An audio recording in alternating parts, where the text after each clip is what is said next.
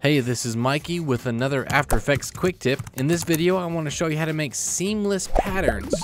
So let's make this pattern. And now I must warn you that I am going to be doing lots of pre-comping.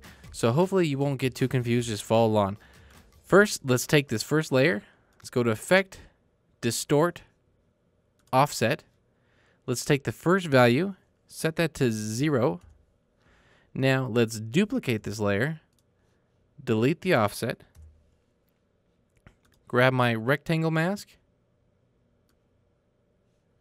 mask right down the middle, hit F on the keyboard, feather it, and that's the seamless pattern going horizontally. Now to make it go vertically, we have to select both these layers, pre-compose, duplicate, hide this top layer, go to Effect, Offset. Now let's take the second value of the shift, set that to zero. And then on this top layer, let's now mask right in the middle. Hit F on the keyboard to feather.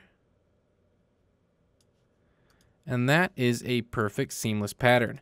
Now let me show you what you can do with this. So if I add a new adjustment layer and yet again add the offset to this, I can grab and move this around and you can see that there is pattern. You're going to be able to see um, clouds repeating, but you won't be able to see any seams.